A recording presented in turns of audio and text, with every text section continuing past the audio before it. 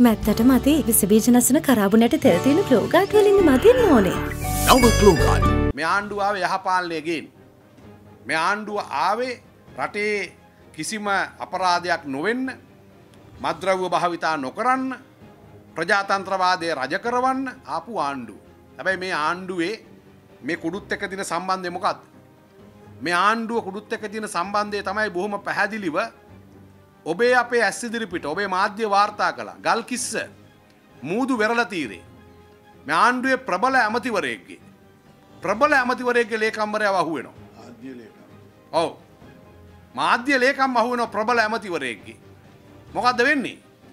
ඇමතිවරයාගේ ලේකම් ඒ දවසම පොලිස් සැප මතය ලියට යන. ඒක තියෙනවා මද්‍රවි වර්ග විශාල ප්‍රමාණයක් තිය. මාධ්‍ය ලේකම්වරයා එලියට. අහිංසක රියදුරා හිරගෙට. මෙන්න කුඩුවලට තියෙන සම්බන්ධකම්.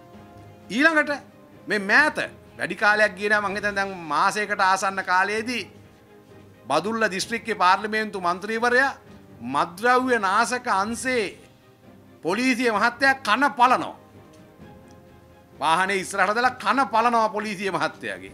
කන පැලුවම කරදරයක් නෑ කිසිීම ප්‍රශ්නයක් නැතුව අනේ අර පාර්ලිමේන්තු මන්ත්‍රීතුමාට ඇප ලැබී ගෙදරේනවා.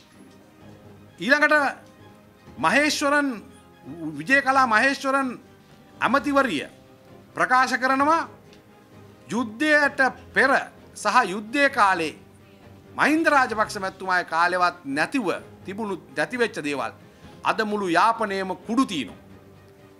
දේශපාලක්ඥෝ සම්බන්ධයි කුඩු ව්‍යාපාරයට කිය.